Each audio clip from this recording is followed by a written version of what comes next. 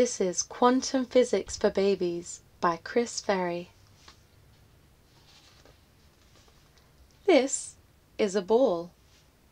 This ball has energy.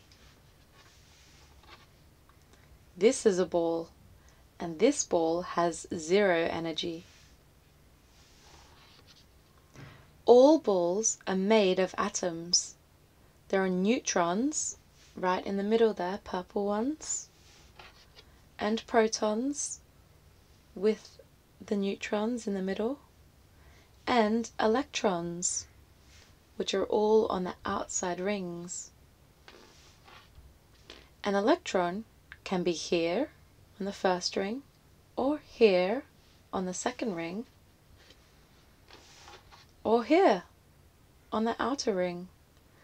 But an electron cannot be here in the middle, here in the middle with the protons and the neutrons.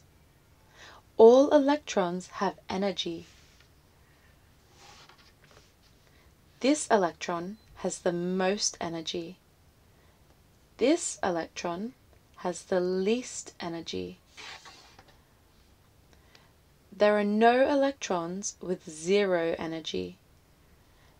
This energy is quantized. An electron can take energy to jump up. And it must give energy to fall down.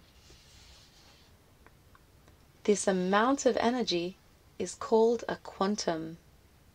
Now, you are a quantum physicist. And that is the end of Quantum Physics for Babies by Chris Ferrie.